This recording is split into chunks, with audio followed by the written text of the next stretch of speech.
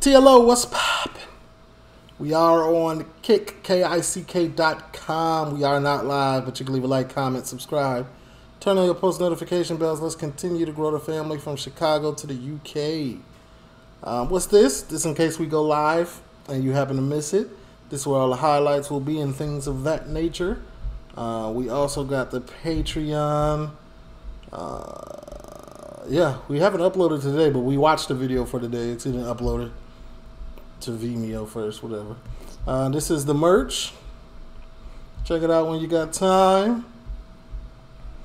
And we also got the Discord, man. Links to all of these things are down in the description. Uh, let's watch HMP prison interview. Somebody told me to watch this on Patreon. Okay. See where this is going already.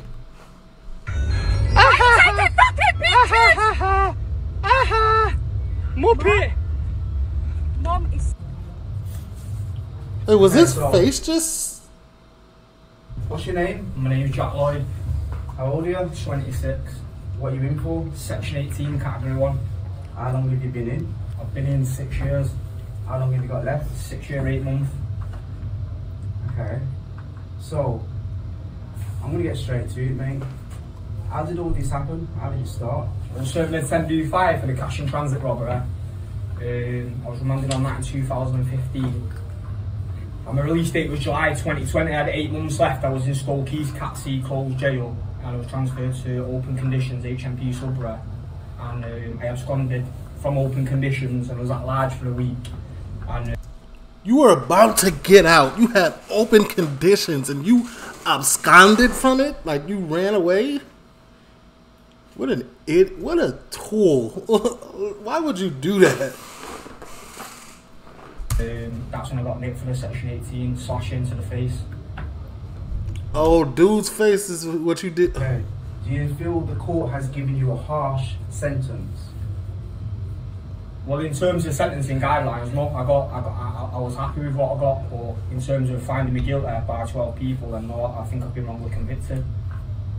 And do you plan to pursue any appeals? No, it's been told it's unappealable because nothing legally went wrong in the trial. So you've got no grounds. No grounds to appeal, no. Do you regret Buddy had from here, I'm talking, he lined him up. any crimes or regret anything at all? And I just regret getting caught. Why? I'm not, I'm not guilty, I'm I? But I just regret putting myself in the position where I was accused of something I didn't do. How did the media portray you? To be honest, unfortunately, the day of my sentencing, the media weren't present in the court, so nothing really made the papers. So I haven't really had them, my case, I haven't really had much media coverage. Oh, well, that's. I guess that's useful for you when you get back out. Keep in mind, I don't condone any of this. Um, Yeah, yeah, but obviously the previous crimes are all accessible to Google. All you gotta do is put my name in and my location and they all come up. And what's the truth? What do you want to clear up? What do you want to get off your chest? Because I know when people get convicted of crimes, it's only 10% of the truth is got out and how did they how are they even doing this? not everything is out. And then people like you, Jack, don't get you don't get to give your side of the story. I just like to say that obviously with these with these young kids out there at the moment and, and, and they're out there trying to prove themselves like I once was for whatever reason. Obviously not everybody else lives by the same morals and values. So for example the fucking the, the kid who I allegedly done, he was a grafter and, and, and you automatically assume because these people are out there doing what they're doing and funding their lives in a certain way that they're untouchable and they won't involve the police. But you know, the lad, the lad that I, I, I allegedly done, he, he, he, he, made a, a statement to the police immediately, and then a month later went into Ashton Police Station and made a six-page statement. Yeah, told on you immediately. Thought he was a part of that live that he wasn't gonna tell, but nope. Yeah, I was a victim of a crime. I done got a buck fifty on me. It was him. and he's out there carrying on doing what he's doing to this day. No one's exiling him from where I'm from or not wanting to deal with him. People people fuck these grasses. You know what I mean? It's it's like people don't want people don't want to give up the lifestyle they're living. And, and the truth of that lifestyle most times is that okay, what is a grafter though? Like, what is the definition of a grafter? Is that just a thief? Like, because a grafter is not a gangster, right? I'm, I was never really clear on that. If a grafter is not a gangster and you slash a grafter's face and he told on you, he's not a snitch. He's a civilian who likes to steal or cause trouble. He he's not a gangster. He don't live by that code. He can tell on you. You chose the wrong person, buddy. And I don't condone it. You shouldn't have chose nobody, but that he don't live by that rule. I don't think he's a snitch. You hit a civilian. They ain't even got what the betraying they've got. Now that's if a grafter is not a- gangster. It's all for show, do you know what I mean? So to walk in a police station make a statement which should be frowned upon amongst criminals, it ain't really, it ain't really looked at that way. Peter's grassing's in fashion, people hang around these grasses. Do you feel that times have changed? There's no honor amongst thieves, first of all. Second of all, like I, I don't even does that a code apply to thieves and criminals? I thought it would just applied to you know what I'm saying? Like the gangster part of it. Of course, if you go out and do a crime together and you get caught with your co-defendant, okay, cool. Now you, shh. But like, I just be on my own grafting. You know what I'm saying? I'm just trying to make it by every day. And you hit me in the face with it. You know what I mean? I feel like morals and values have gone, haven't they? People don't give a fuck, like I say, you know what I mean? They're just out there for themselves, and, they, and, and, and once upon a time, your name was everything. Your word and your name was everything, but now people don't don't give a fuck with that. People don't people don't push grasses away from them. They're happy to be around them. You just forget. You just pretend that that's not happened and it ain't happened. How do you know the victim? Just a local, just a local muppet from from from my area. Were you and the victim on good terms? Not at the time, no. Or was you previously like, like Yeah, it was cool, yeah. tell me about it, what what was you doing with your mates and stuff? You chill. Now I would say it was mates, just some an acquaintance that I knew. And um, obviously for some bizarre reason he, he decided to tell the police that I slashed his face with a flip knife. Alright, so what? You one of See, I, I I don't know what a grafter is, man. So I say all that, but I don't really know. those guys. Yeah. So, what actually happened, bro? What, the day, the day, the, the day of the alleged offence? Yeah. Well, basically, I was I was I was on my own, and and, and to keep cut the story short, I went and met him and another acquaintance, um, and I got into a vehicle with the both of them. And allegedly, I reached over into the passenger seat where the victim was sat and slashed his face twice. Whoa, so that's quite gruesome. Yeah, yeah. So you backdoored him anyway. So you you essentially snuck him. Like didn't even you know give him a fair chance to defend himself. You was in the back seat, he was in the front seat. You reached up, clink clink clink clink.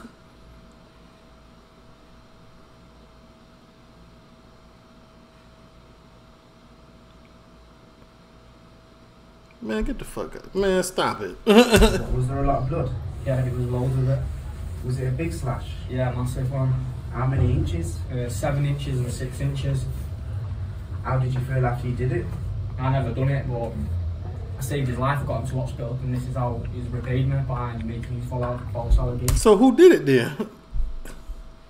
There's only two of y'all in the car. It's only three, a total of three of y'all in the car. If you ain't do it and he got hit in the face, so are you blaming the other guy there?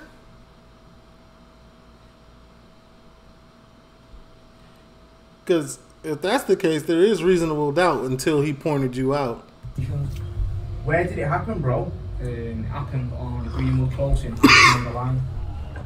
And so, what? Where about are you from? I'm from Droylsden originally. Georgetown.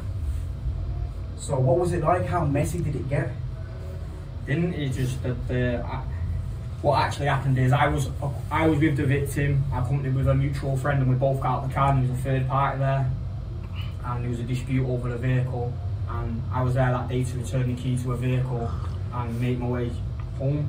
And before I could make way home, this the person that was on the outside of the car decided to start stabbing at the victim in the face multiple times. I waded in to stop the lad from causing any more damage and pursued the lad because I thought he'd been stabbed in the chest and I thought he needed to get to hospital before he died. And that's what I done. I chased him up the street and, and he was crying for his life and his mum. And he's wet his pants. And um, obviously I got him back to the car and I got him to got him to the hospital. So he was pretty nervous and shaking up to wet his pants and cry for his He was crying for his mum, yeah. So there was more witnesses. No, there was no witnesses at all. I was convicted of one person's word alone, and at the trial I decided to answer no questions, but I was still found guilty. That seems pretty harsh to me. Yeah. What have you seen since you've been in prison? What scares you? What worries you? Nothing, nothing really. You've got to be on point, ain't you, no matter where you are, but nothing really scares me. I've been coming to prison since I was 16. Is it true that you So you sat, so you sat on that bench. You sat, you sat. When they took it to trial, you sat up there and you you cooperated too.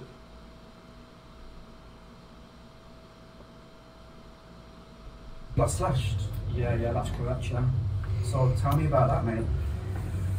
Not really much to talk about, really. I was, I was on, the, I was on an internal stairwell on F2 in Forest Bank, and um, two little girls. Basically, one of them bare with me, and one of them come at me with a little blade. Wankers, isn't they? Yeah. Tell me how you overcome most obstacles. You just got to take a step back and get a deep breath and, and assess the situation and, and tackle it head on. So what do you do on an everyday basis? Nothing at the moment since COVID 19's coming, we're limited to what we can do and what options we have got to do throughout the day. Jack, I'm gonna be straight up with you. Do you have a drug problem? No, not at all, no. Do you suffer with mental health? Not that I know of, no. Can you tell me how you used to wear money? Because you look quite flashy to me, mate. Uh, just get looked after off I ain't gonna lie, I never seen this type of tracksuit like this. Friend. That's cool. It's like shorts, but not shorts. But I don't know. What's your biggest weakness? Um, I've got a good heart. Tell me about yourself. Tell tell us all about yourself that people don't know. Not really much, not really much to say. I've been in prison all my life, unfortunately. Now, since I was 16 on and off, I've not really done much living. Because I've known you for a few months now. We're not really close, but I've seen you about a week. You seem like a cool guy. You seem humble. Yeah, that's the best way to be, I think, yeah. I don't know if I trust Jack, man, on the landing. I ain't even gonna lie. After hearing this story, you done backdoored buddy, allegedly, from the back seat, then hit him with the, you know what I'm saying? You're questionable. What do you think about Strangeways? About all the corruption, the screws bringing in drugs. Oh, he's in Strange the Ways? screws going in on kids, smashing them up. Tell me what, what do you think about that, bro? Are you worried that the screws might come in on you one day? I'm not worried now, but I've been here multiple times, and you know, obviously it's, they've got a them views attitude. There's no, there's no, there's no meat in the middle, and obviously it's a notorious place where they do, yeah, they do smash your head in, they do come in, five up and attack and assault inmates unprovoked. Do you know what I mean? And there's not really much you can do about it because it's at high level. So you know there is a complaints procedure, but the people that are answering them complaints are the friends of the people that are smashing your head in. So you're in a bit of a you're, in a bit of a situation when you start making formal complaints about members of staff because there's no one really prepared to listen to you. And staff gonna protect staff, right? They were coming on you. Oh yeah, over the years, not in here. Fortunately, not not not in here, but yeah, multiple times from from from being working away from the juvenile estate to the obviously the wilds and then as a con. Yeah, I've been assaulted pure times off off screws. Tell us about that mad time about when they got you in the office. Oh yeah, that Officer Costello used to be a known PL. In Strangeways, he was known for breaking people's jaws and strangling people and you know all that type of behaviour. And uh, myself and one of my friends had been having a bit of a running joke with a female member of staff on Beering in 2017 in Strangeways, called Miss Lachlan, an Irish lady with blonde hair. And He dropping names and everything. Jack got receipts, boy. uh, another member of the staff's obviously reported our, our behaviour towards this female member of the staff. And uh, I was called to uh, Mr Costello's office over the patrol state when obviously the whole of the jail's locked down, no cells could be open. And there was another SO sat on the desk and two current security members of staff that still work here to this day. And uh, basically Mr Costello called me to the office and questioned me about what, what, what had been going on with myself and Miss, Miss Lachlan and basically said that if, if, if it was to continue he would, he would uh, break my arms and snap my thumbs and um, that's them sort them sort of threats which he, he was capable of doing because you know it's a, it's never a one-on-one situation with these members of staff in here. It's, a, it's always a, a 10 on 1 and that was that yeah. Fucking corona's ended up getting a grip of him and he's had to retire from what I've told through ill health. So you know karma does does does come round every now and again and, and deals with these people when they're doing corrupt stuff to Karma spun the block on, bro. men Fucking hell, that must have been a bit scary. Yeah, yeah, it was. I won't, I won't, I won't lie. It was not scary so much. It was just that he, he, he had the he had the upper on me where he could have come in my cell at any time when I wasn't prepared with my trainers on or, or ready to, to, to swing it out. Like you prepare yourself when you when you've got a dispute. See, y'all see when he said not prepared, didn't have my trainers on. That's why I really don't wear sandals outside. That's an automatic like disadvantage. With other people. He could have come in at night time when he was sleeping, and that's that's how these people in here deal with them them type of situations. Yeah, so since then, how does staff treat you? I just try to not speak to him. I've just learned over the years if you don't engage with them, then you, you, you can't really have a problem with them. And the ones that try and seek you out and draw you out and, and draw you into them situations, I don't. I try not to give them an inch. So how did they treat you in general then? Day to day, I don't. Like I say, I don't really engage with them, but. You know, it is a long-winded. Everything's long-winded in here, and and and, and, it's- and, and things don't run smoothly. They like Strangeways is a place where they want you to have the bare minimum. Okay, well, where do you see yourself in five years? I'm not gonna even lie to you. This is a prison on prisoner interview, and this is better than a lot of the interviews that I'll be watching. I don't know, hopefully I'll be out, out, out, I'll be out and about doing the thing again, out in the community. If you could say something to your victim, what would you say? You're dirty grass mate and, and you know, I'll have to do five year, four month extra than what I had to do. But you're labelled with that filthy word all your life and you know, if you ever come here and sat with these people that I'm sat with here now, they would force you to go and live with paedophiles and child molesters and corrupt police officers, all, all, all the low, low, low scumbags in life. You have to live amongst them people for your duration, your time while you're in prison. What do you miss the most? I miss being around my family in it and, and treating people good and, and being generous and being out there living life to the full. So you've done a fair few Christmases in here. Yeah, yeah. It must be hard. Yeah, it's terrible, yeah. Do you have kids? No, no, don't have no kids. Do you feel safe in prison? Yeah, I think I think obviously you'd be lying if everyone said they feel safe. I don't think that's true, and you've got to be on point. Obviously, there's always there's always situations that can unravel, and I think if you was just walking around with your head in the clouds and you you didn't have that anxiety in your stomach day to day, then obviously things things things could creep up on you that you're not prepared for. So I could be definitely wrong about the whole grass situation. I don't know. Um, I don't know what a grafter is. So. when you was last free, how long was you free for? Well, technically, I wasn't free, was I? I'd absconded from open conditions, so I, I was free, but I shouldn't have been out of prison. I had eight months left to serve. I- It was a week before it was apprehended and brought back to open conditions, charged with a fresh offence. Yeah, a ill. You didn't lose. your- You didn't learn your lesson. Okay. How do you survive in jail? In terms of what surviving. How do you like?